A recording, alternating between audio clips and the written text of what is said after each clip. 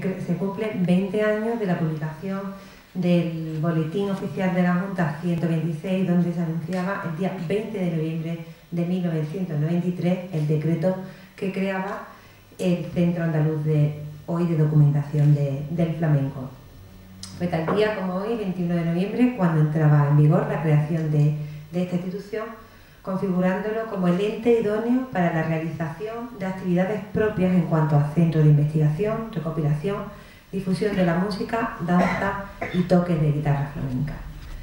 Se le adjudicaron las funciones y, fines que muy marcadas, muy marcadas desde un principio, como era la salvaguarda y la salvaguardia y promoción de los valores tradicionales, así como el fomento de la evolución creativa y el carácter culturista de cuantas manifestaciones artísticas, literarias y musicales sean exponentes del saber y sentir del pueblo andaluz, relacionado con los cantes, los bailes y los toques de guitarra de arte flamenco, para la investigación, la recuperación, la enseñanza y la divulgación, y para reunir y conservar cuantos documentos, objetos y elementos estén relacionados con este arte y en general libros, documentos históricos, reproducciones sonoras, fílmicas y literarias que sirvan para perpetuar la historia del flamenco como exponente del sentir y del saber del pueblo andaluz.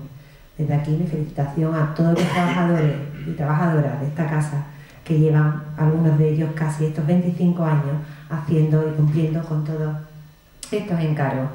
Estamos de cumpleaños, tanto del propio centro como de su sede, y bueno, una vida llena de momentos como la edición de la obra completa de La Niña de los Peines, que nuestra anfitriona podrá contarnos, o la propia declaración del flamenco como patrimonio de la humanidad, pero también un gran reto y un gran mito ha sido no solo atender diariamente pues, las necesidades de todos los investigadores aficionados que han venido pasando por esta casa, todos los expertos, sino también eh, especial significado la labor de digitalización de los ingentes e importantes fondos documentales, sonoros y fílmicos que aquí se conservan.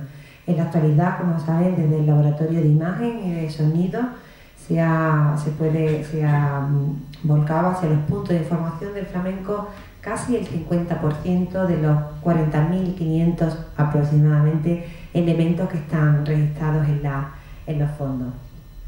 Eh, como, ya decía antes, eh, tendríamos que celebrar todos estos años como se merecieron. Para ello hemos organizado pues, las jornadas de actividades que comienzan hoy y que terminarán el próximo día 19 de diciembre con la tradicional zambomba y que bueno, hoy tenemos la presencia de Carmen Calvo, que ella nos va a hablar de, su, bueno, pues de sus conocimientos que, bueno, que, nos contaba que sus conocimientos con, el flamenco le vienen pues desde, desde, muy pequeñita, yo creo que es algo que le vamos a pedir que, que nos lo cuente. Como todos saben, Carmen fue durante ocho años consejera de Cultura de la Junta de Andalucía entre el año 96 y el año 2004. Estuvo más de tres al frente del primer Ministerio de Cultura del gobierno de José Luis Rodríguez Zapatero y en el tramo final de la octava legislatura fue además vicepresidenta primera del Congreso de los Diputados, labores por la que fue distinguida con la Gran Cruz de la Orden de Carlos III y la Gran Cruz de la Orden del Mérito Civil. Quienes han seguido su trayectoria política la definen como una de las mayores, las mayores especialistas de nuestro país en gestión cultural. Política por pasión y docente universitaria de profesión, Carmen llega a la primera línea desde el gobierno la, desde a la primera línea del gobierno, perdón, desde la Universidad de, Córdoba, donde ocupa el puesto de secretaria general cuando Manuel Chávez la llama para hacerla consejera de Cultura tras las elecciones del 96. Posteriormente, en el año 2000, obtuvo el acta de diputada autonómica. Puso en marcha hitos, grandes hitos, como la exposición el esplendor de los Omeyas o la Biblioteca Virtual de Andalucía. Fue la principal artífice de la creación del Museo Picasso de Málaga, negociando personalmente esta importante donación con sus herederos. No abandonaría el Parlamento andaluz hasta que José Luis Rodríguez Zapatero le pide integrarse en el Comité de Notables del PSOE constituido por las elecciones generales de 2004. Su misión fue redactar el programa electoral socialista lo referente a la cultura y encabezó también la lista del PSOE por Córdoba a las Cortes Generales. Como ministra de Cultura concluyó las obras de la mayor ampliación del Museo del Prado, lanzó conocidas campañas contra la piratería y a favor del fomento de la lectura, fue de su tiempo el famoso si tú lees, ellos, ellas leen, y dejó en el Congreso la cifra sin precedentes en una sola legislatura de cinco leyes. La primera ley en democracia del libro, la lectura y la biblioteca. La anterior ley era preconstitucional datada de 1975. La actualización de la norma de la propiedad intelectual. La ley que permitió la devolución de los documentos de la Generalitat de Cataluña depositadas en el, en el Centro Documental de la Memoria Histórica la ley que hizo posible la reutilización en el ámbito privado de la información del sector público y la llamada Ley del Cine. En 2008 repitió de nuevo como cabeza de lista por Córdoba en las elecciones generales y durante la novena legislatura presidió la Comisión de Igualdad, Comisión Legislativa del Congreso de los Diputados. Además, como decíamos antes, tenemos que destacar su trabajo como profesora titular de Derecho Constitucional en la Facultad de Derecho de la Universidad de Córdoba como especialista en Derecho Parlamentario durante 14 años. Ha desempeñado también cargos públicos, cargos orgánicos, perdón, en el ámbito universitario como vicedecana de la Facultad de Derecho de la Universidad de Córdoba, secretaria general de la Universidad de Córdoba, también fue secretaria del Instituto Andaluz Interuniversitario de Criminología y consejera del Consejo Económico y Social de Córdoba. Además, como todos saben, es presidenta de la Fundación Vicente Núñez, patrona de la Fundación María Zambrano, miembro del Consejo Asesor de la Fundación Alfonso Perales y miembro del Consejo Nacional de la Comisión para la Realización de los Horarios Españoles. Cuenta asimismo con numerosas colaboraciones, conferencias, publicaciones en materia de gestión cultural e igualdad jurídica y social entre hombres y mujeres, colaboradora eh, habitual en diversos medios de comunicación y flamenca convencida y aficionada. Muchas gracias, Carmen.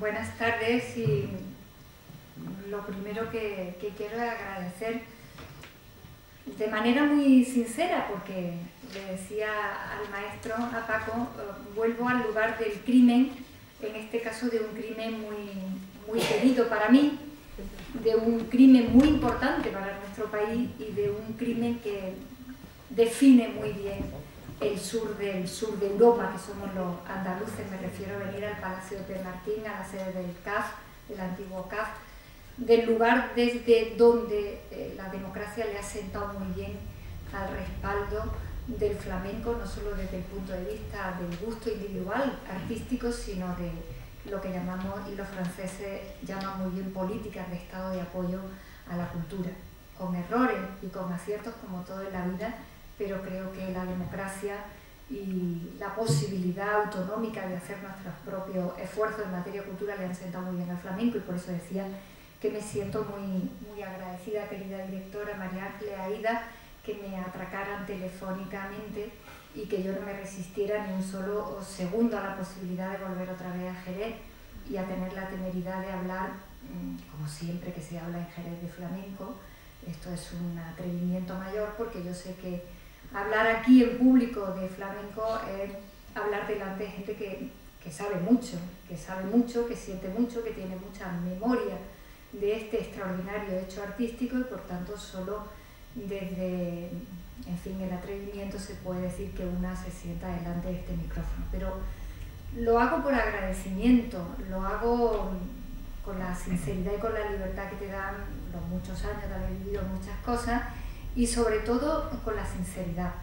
Eh, le venía contando a la directora María Ángeles en el coche y el otro día se lo contaba también a ella por teléfono y algunas personas que me conocen en Andalucía bastante les contaba que yo me acerco al flamenco con 5 o 6 años porque mi padre, y sobre todo mi abuelo, que era un poco el amigo mecenas de Cayetano Muriel, el niño de cabra, yo creo que uno de los que mejor ha cantado los fandangos de Lucena para rivalidad de lucentino y agabrense.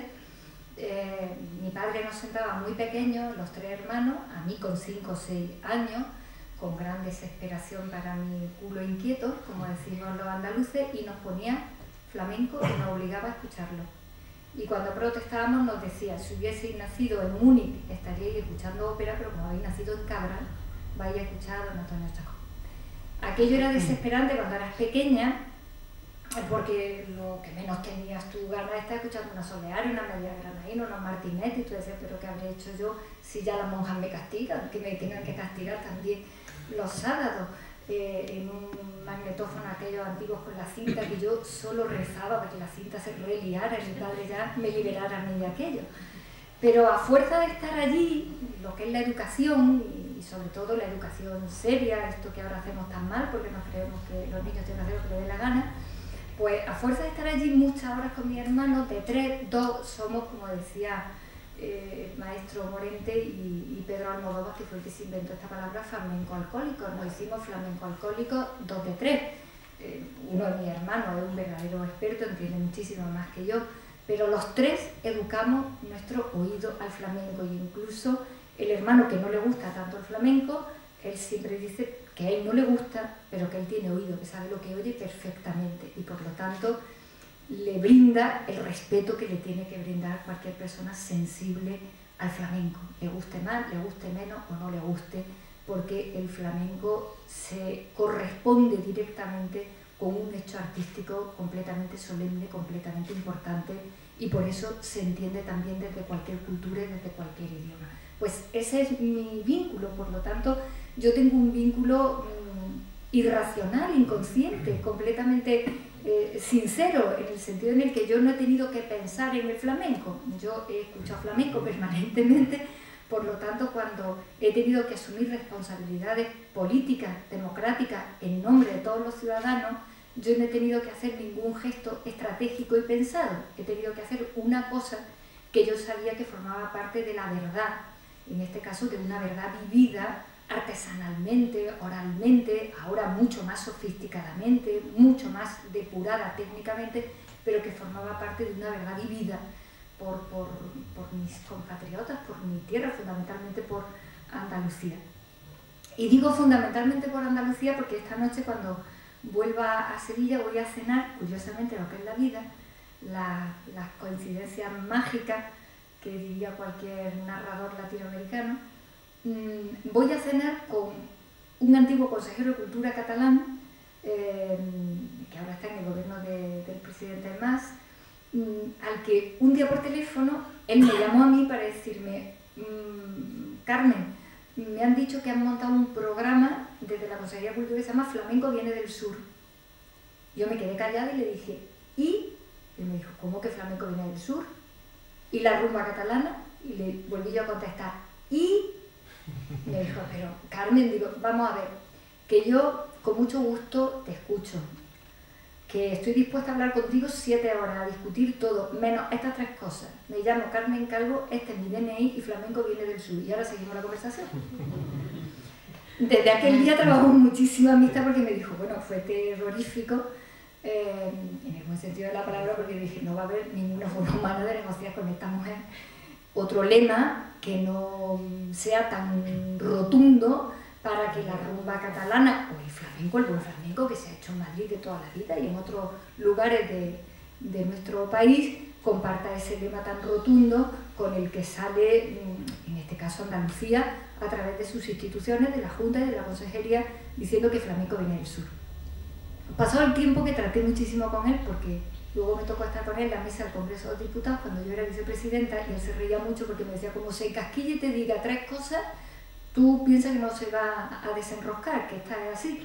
Y yo le decía, mira, mm, eh, Jordi, el sur mm, no es solo un lugar físico, no es solo Andalucía, que es el sur de Europa, porque al sur de Andalucía hay otro sur, si te pones con el mapa más abajo, y cuando el eje de la Tierra cambia, su norte y su sur, que cambia, según dicen los físicos, eh, de vez en cuando, cada 10 años, pues el sur está en otro sitio. lo que te quiero decir con esto es que el sur no es solo un lugar físico, es un lugar de la conciencia. Es un estado de la conciencia desde el que se percibe a través de la inteligencia y de la sensibilidad determinadas cosas. Ahora que la informática nos está reseteando a todos los seres humanos, tenemos la costumbre de decir, me he bajado, me he bajado una película, me he bajado un documento, decimos me he bajado. Pues yo hace ya años que pensé que el flamenco era una cosa que nos habíamos bajado los del sur de España, básicamente los andaluces, los flamencos en general, aunque hayan nacido en otros sitios, yo llegué un día a pensar que el flamenco era algo que nos habíamos bajado de algún sitio, que nos lo habíamos bajado. Y cuando leía Lorca hace mucho tiempo, viendo las cosas que él fraguó con Manuel de Falla en el famoso Congreso de Granada para reivindicar el flamenco y el cante hondo como la música culta de los españoles, eh, Lorca dice que el flamenco es un mundo dentro del mundo, es decir, un mundo paralelo. Y cuando luego tú te relacionas con la gente que hace, vive el flamenco, que es muy democrático en el fondo, porque cada uno lo coge por el lado que quiere y lo vive como quiere, lo puede vivir a lo pequeño, porque tú cantas, porque tú bailas, porque tú te conectas, o a lo grande, cuando se tienen grandes figuras del flamenco, a las que todos conocemos, a las que todos reverenciamos y le agradecemos que existan, ese es el lado muy, muy democrático del, flamenco como, como hecho artístico, cuando tú les escuchas a ellos, que son los que de verdad se adentran en ese mundo, dentro del mundo que es el flamenco, ellos realmente lo que te dicen es que o se está dentro o se está fuera, pero estar en el flamenco es estar dentro de un sitio, de un sitio de tu propia conciencia, de un sitio de tu propia manera de percibir el mundo eso que en términos más sencillitos se dice o se vive a compás o no se vive a compás, o se tiene compás o no se tiene compás, punto, ya está. Bueno, pues eso es un misterio, eso es un misterio. Y cuando yo era pequeña, yo no sabía muy bien qué es lo que ocurría cuando yo escuchaba las voces. Luego cuando me he ido haciendo mayor y he ido dándome cuenta de más cosas, me daba cuenta perfectamente que en terminología moderna el flamenco es algo que nos hemos bajado de algún lugar pero de algún lugar que le pertenece al ser humano, de algún lugar que le pertenece al planeta como pocas cosas de este mundo. Y esa es la razón por la que lo aprecian en cualquier lugar del mundo, lo comprenden en cualquier lugar del mundo, eh, le produce inspiración y respeto a muchísimos músicos de diferentísimo pelaje del mundo, porque al final acaba conectando seguramente con nuestro entramado emocional. Y cuando nos planteábamos, por razones de obligación política, por, razones institucionales, porque el flamenco no podía ser un hecho artístico que corriera mm, de manera eh, libre y apurada por los caminos normales del arte y del mercado del arte. El flamenco necesitaba un respaldo solemne de todos los andaluces detrás de sus instituciones democráticas cuando decidimos que hay que hacer una apuesta importante por el flamenco, pero no para defenderlo, que a mí jamás me ha gustado esta idea de que al flamenco hay que defenderlo. El flamenco, si lo deja, se defiende solito estupendamente. Simplemente lo que hay es que cuidarlo y mimarlo como uno de los grandes tesoros que España le ha, le ha aportado al mundo y que finalmente se convierte en patrimonio de la humanidad porque es una de las grandes aportaciones de este país al mundo, a través evidentemente de la propia historia de Andalucía. Y uno acaba entendiendo que además de un misterio es una verdad. Es una verdad. El flamenco encierra algo que es verdad. Yo no me atrevería a decir, porque supongo que hay que ser artista, hay que cantar flamenco, hay que tocar, hay que bailar, para que tú contigo mismo sepas de qué verdad se trata ese asunto, porque cada artista vive esa verdad de una manera, maneja esa verdad de una manera, la envuelve y te la devuelve a ti, que eres público. Pero el público del flamenco, como casi todos los públicos de la cultura, no es nunca un público pasivo. Uno puede ser público pasivo de otras muchas cosas, intelectualmente hablando, artísticamente hablando, pero del flamenco nunca se es mm, mm, público pasivo, jamás. Cuando uno está escuchando un buen toque, cuando uno está escuchando una buena voz, en un palo que a uno le gusta particularmente, o un canta, una cantadora que uno le gusta, o viendo a alguien bailar, eh, eh, la ciencia moderna, por fin, que, tan buena es para tantas cosas, acaba diciéndote que es que tu cerebro, tu cerebro escaneado, está trabajando de la misma manera que está trabajando el del artista. Es decir, tu cerebro está cantando, aunque tú tengas la voz más horrible del mundo, aunque no salga ni un solo sonido de tu garganta. Esto no ocurre con cualquier hecho artístico uno, mm, su cerebro escaneado no funciona cuando mira un Velázquez como a Velázquez le funcionaría su cerebro mientras pintaba. Pero sí ocurre con la música. Y ocurre particularmente con el flamenco, del que yo digo que es un hecho artístico, porque es mucho más que una música, es mucho más que una manera de manejar la voz humana, es un hecho artístico porque es un hecho circular, completo, perfecto, abarca casi todo lo que puede hacer el cuerpo humano. Abarca instrumentos particulares, voces puestas en determinados lugares particulares, sonidos completamente diferentes de otros, un baile radicalmente distinto de cualquier otra cosa que no se le parece, en la que interviene, todos lo sabemos perfectamente, todo el cuerpo humano como una percusión que no existe prácticamente en casi ninguna otra cosa, salvo en el claqué, y ahora diré algo que siempre me ha gustado mucho, el flamenco, pensando en el jazz y sobre todo en los espirituales negros de los norteamericanos, es decir, estamos delante de algo extraordinariamente valiosísimo. Y por eso le decía yo a la directora, María Ángeles, eh, no me gusta que haya tantas cosas ya patrimonio de la humanidad porque habiendo tantas cosas es como si ya no tuviera valor las que están. El flamenco no se puede, no, no es por razones patrioteras eh, de pacotilla, es que como el flamenco no hay casi nada. Como el flamenco no hay casi nada en el mundo. Y es, repito, una tecla casi mágica que de manera sencilla y luego complicada, digo sencilla porque nace de manera muy humilde, muy básica, de la gente que quiere cantar, que quiere llorar, que quiere rezar, como dice el vídeo, que se quiere manifestar sin más ni más. Eh, eh, ahora tenemos a muchos hombres y mujeres en el flamenco muy cualificados, muy formados, buenos músicos, técnicamente formados, pero todos sabemos que el flamenco tiene un origen de expresión muy espontánea, muy natural, muy de donde nace exactamente la vida misma. Y por eso es muy difícil de definir. Cuando en la consejería y en el tiempo de la que yo fui responsable empezamos a montar el expediente para em, que la UNESCO se pensara que el flamenco era patrimonio de la humanidad, yo recuerdo estupendamente que yo de vez en cuando decía, dejadme que lea cosas de lo que están haciendo los expertos, antropólogos, musicólogos, etcétera, etcétera. Y yo decía, pobrecitos míos, pobrecitas mías, que se tienen que rebanar aquí los sesos, que son gente que sabe muchísimo, para intentar explicar cosas que son muy poco explicables. Muy poco explicables. Porque al final el ser humano acaba comprendiendo que no es tonto del todo eh, y se muere lo menos tonto que puede cuando uno se quiere morir lo menos tonto posible, se acaba dando cuenta que el pensamiento es una cárcel, al fin y al cabo. Las cosas reales necesitan poco pensamiento. Y este es el valor extraordinario del flamenco en un mundo tan complejo y tan sofisticado como el de nuestro día.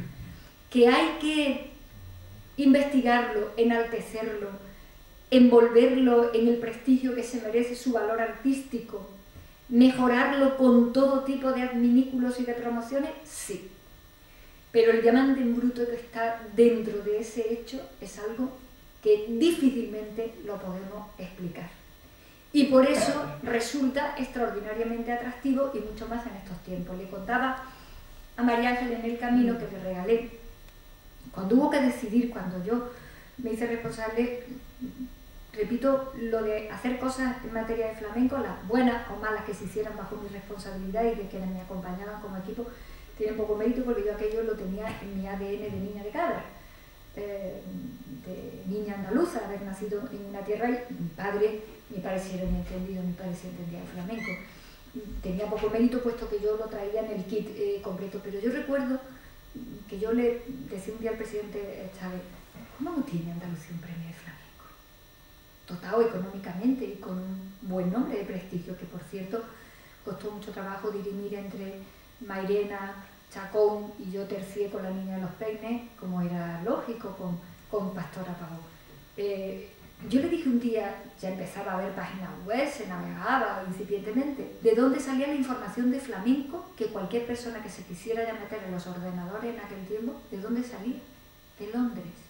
Casi me caigo de la silla. La información que llegaba en esos mundos modernos en aquel momento de flamenco al planeta salía de Londres, ni siquiera de Madrid, de Londres, que fue cuando hicimos el gran esfuerzo de montar una página web y empezar aquí a grabar los palos y a decirle al resto del mundo de flamenco, con respeto y con educación, se habla desde Andalucía. Y esa información sale, en este caso, desde Jerez, en nombre de todos los andaluces, en nombre de este país, y por tanto esa información es una información que debemos nosotros administrar como se administra la información cultural. La información cultural no tiene fronteras, cada uno la puede administrar, puede informar y puede salir como quiera, pero era una responsabilidad importantísima y una responsabilidad institucional. Cuando decidimos por primera vez, porque esto sí que no se había hecho nunca, proteger la voz de la niña de los peines como bien de interés cultural, que yo creo que aquello sí que fue una novedad importante en la política cultural, fue cuando por primera vez nosotros desde Andalucía, obviamente teníamos obligación de hacerlo, pero yo creo que hasta cierto punto dejamos asombrados a algunos, al resto de quienes hacían gestión y política cultural, porque dijimos, nosotros queremos proteger por primera vez una voz, la voz de la niña de los peines. Se recopila toda su obra, incluso alguna que no se limpia, se saca de cilindros, se digitaliza. Y le contaba yo a María Ángeles que se la regalé en agradecimiento, en nombre de todos nosotros, al nieto mayor de Picasso. A Picasso le gustaban mucho los toros, le gustaba el flamenco y le salía una cosa aquí en la piel, en el cuello, me la contaba su, su nuera, que vivió mucho tiempo con él, porque era la mujer de su hijo mayor, y su sobrino, Javier Vilato, me lo contaron en muchas ocasiones, me decían, cada vez que le ofrecían la nacionalidad francesa y con las leyes francesas tenía que renunciar a la nacionalidad española, se pillaba un rebote de tal calibre que le salía aquí una cosa que tenía que venir hasta el médico a verlo. Decía que yo no quiero saber nada de Franco, la dictadura no tiene nada que ver con que alguien me cuestione que yo soy español y me voy a morir de español. Y se colocaba en su casa de Galoy y le decía a sus colaboradores, mira, por allí está Andalucía. Escuchaba flamenco, recibía a cualquiera que le trajera noticias de su tierra y él decía, lo que me conecta finalmente a mi condición de andaluz es saber que puedo ver en Nim, en la plaza de Nim, toro, que puedo escuchar flamenco y cuando le pregunta que por qué da con la tecla del cubismo, que por qué da con esa tecla que conmociona el arte contemporáneo en todo el siglo XX, contesta literalmente a Gertrude Stein, a la gran crítica de arte, que le pregunta, mm, eh, Pablo, ¿por qué? ¿Cómo das con esa tecla? Y él contesta solemnemente, pareciera que seguía la estela de su paisano Seneca, el cordobés, y dice, porque pases cubiste que se te mala. Punto, que yo dije, se lo ha contestado en flamenco. Eso se lo dije una noche de un grupo de periodistas y digo, es que lo contestó en flamenco, que un idioma que solo entendemos los que nos gusta el flamenco y somos andaluces. Digo, se lo ha contestado en flamenco, es decir, ya está. Es, es y es, que decía una tata que yo tenía, es, es y es. Pues es, es y es. ¿Esto cómo se explica? Pues no se explica, porque forma parte de la cultura que hay que vivir. Le regalo la colección completa de lo que habíamos protegido y regrabado de la niña de los peines, me dice un día, Carmen, que más, mm, mm, más provoca una ruina, yo te una ruina, le hemos hecho un museo a tu abuelo en Málaga, que era lo que él quería espectacular, los andaluces hemos hecho la operación de repatriar artísticamente Picasso a España, al individuo más importante del siglo XX, del siglo XXI en el arte, que era español, lo hemos repatriado a los andaluces, esta operación la ha hecho Andalucía, no la ha hecho el conjunto del país, etcétera, etcétera. ¿Cómo te voy a crear una ruina? Dice, mira, me llevé la colección de discos de flamenco que me regalaste, digo, de la niña los penes, dice, sí, de una señora, de una cantante, digo, no se dice cantante, es cantadora. ¿Cuál es la diferencia? Digo, es que tendrías que saber mucho más español para que yo te pudiera decir que es una cantante y una cantadora.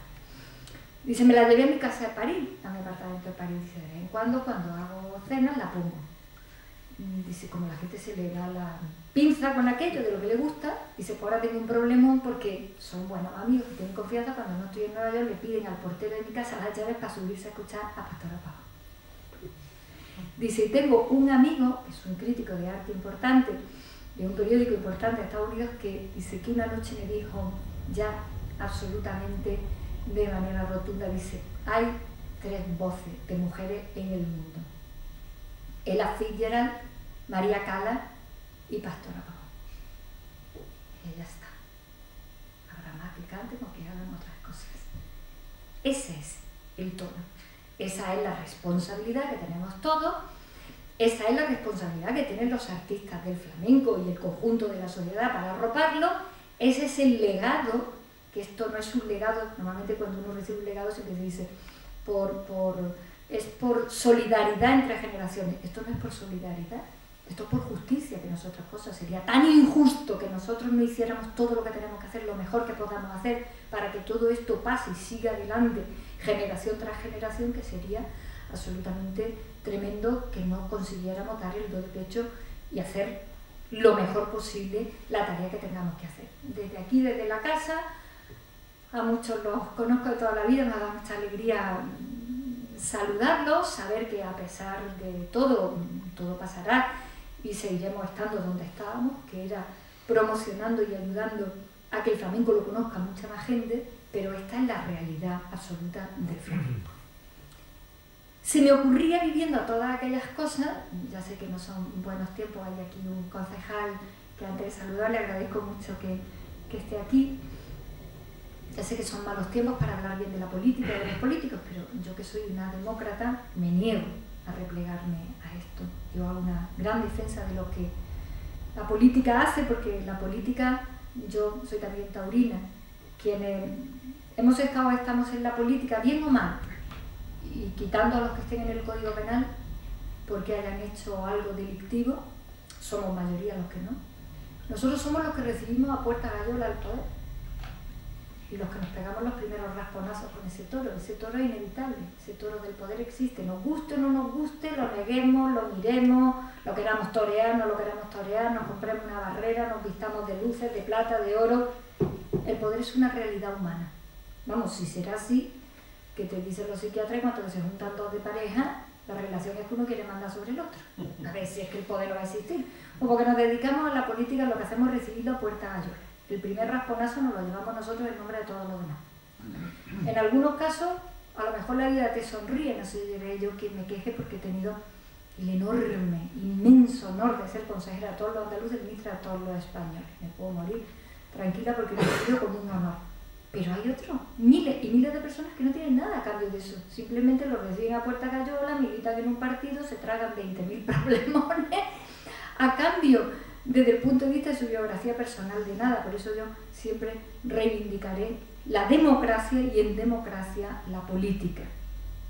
Y en ese orden de cosas yo he aprendido mucho en mi diferente experiencia Y creo que además no me pertenecen a mí, no son mías, porque no las he tenido por mí misma, las he tenido porque he tenido un cargo, porque las urnas me lo han dado, porque los ciudadanos me lo han dado. Y por eso siempre pienso que no es mío y que en la medida de lo posible, si puedo devolverlo, lo devuelvo. Esta es la razón por la que estoy aquí, por contar algunas cosas que he aprendido y que he vivido en estas experiencias que he tenido. Cuando nosotros decidimos hacer el primer seminario de flamenco y jazz en el Teatro Central de Sevilla, vinieron tres bandas, todas ellas eran de negros americanos, los negros con el jazz son como nuestros gitanos con el flamenco, es decir, primera línea de combate, una línea de combate muy importante. Y bueno, pues estuvieron allí trabajando casi, casi tres meses, luego se hicieron varios conciertos, se mm, graba en directo, claro, el jazz tiene como el flamenco una capacidad de improvisar y de moverte al segundo y al instante increíble, se graba un disco que fue un disco que consideró el New York Times el mejor disco del año. En los andaluces no nos enteramos, pero el New York Times lo consideró el mejor disco del año. Vida en Sevilla se llamaba. Y era el trabajo que habían hecho mm, las bandas de, jazz y los flamencos eh, andaluces. El día que nos despedíamos, me dice el, responsable de, que hubiesen venido estas tres bandas y tal, y yo hablando con él, le digo, bueno, finalmente, y le digo, una frase, resúmeme definitivamente qué, qué ha sido esto, qué ha significado esto. Y me dice literalmente, mire usted, estamos felices, hemos aprendido muchísimo, hemos disfrutado muchísimo, esto ha sido lo mejor que nos ha pasado en nuestra vida. Ahora, dos puntos, el flamenco se lo come todo. Digo, sí, dice, sí. Dice, es una cosa increíble cómo se puede comer otra música tan potente, tan poderosa y tan cuajada. Yo le dije, a lo mejor no tanto. Yo asistí a uno de los conciertos, ese uno de los discos tesoro que tengo y que escucho, que por cierto creo que ya no se puede ni comprar ni repetir ni nada, y yo lo voy a gastar porque es mm, muy, muy interesante lo que ocurre en, esa, en ese primer encontronazo libre de dos músicas.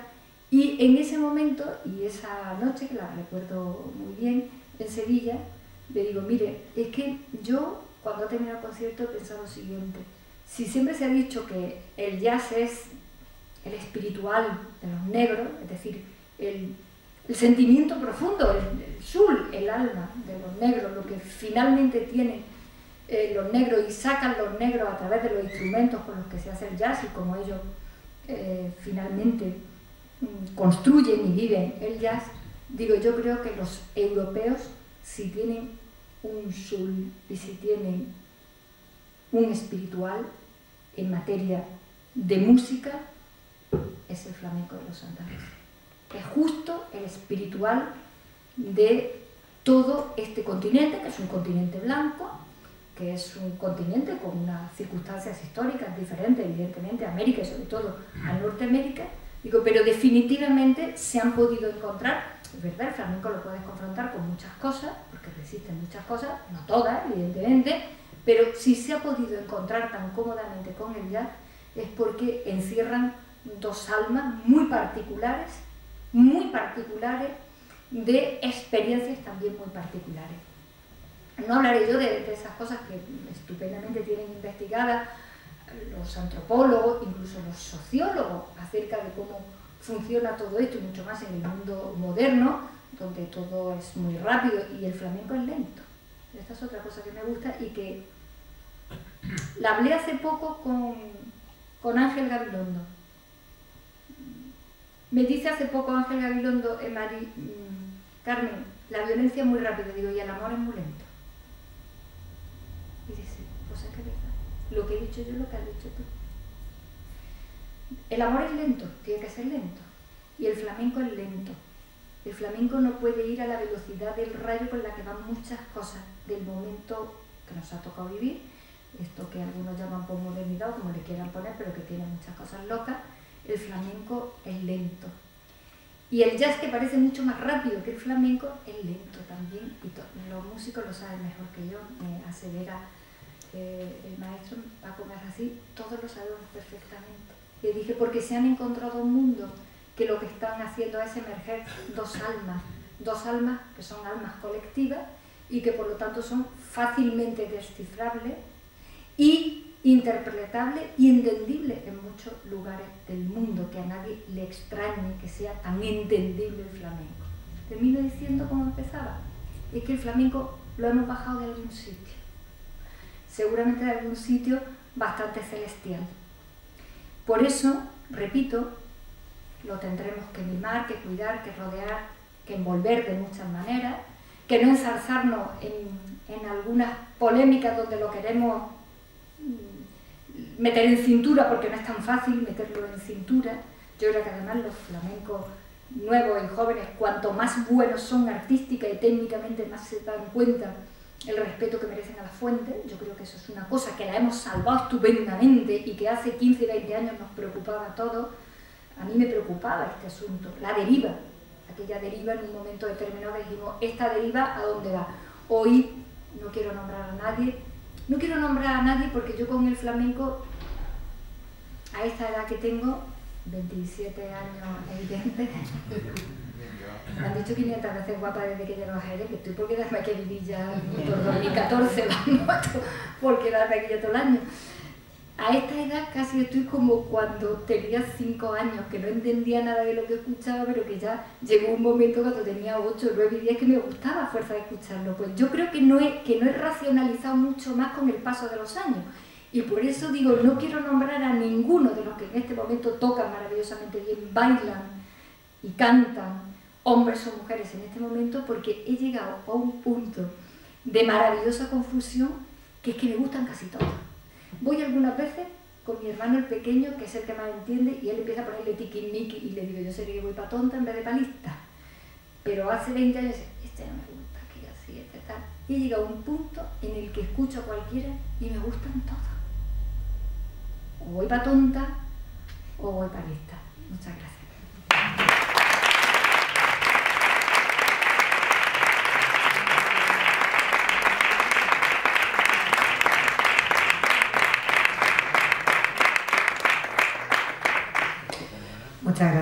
Gracias Carmen por, acompañarnos hoy a, la inauguración de estas jornadas conmemorativas del 25 aniversario. Ha sido un gusto tenerte aquí, contar con, tu experiencia, mucho de, mucho de lo que ha pasado en esta casa, mucha parte de esa historia es tu historia, así que entendíamos que, que eras una anfitriona maravillosa, era un buen momento también para entre todos darte las gracias por por lo que has hecho por el flamenco, por cómo lo vives, como ella lo dice, ¿no? como lo lleva en su ADN, no lo ha hecho por obligación, sino por convicción y, creo que es la forma más bonita de hacer las cosas. Muchísimas gracias.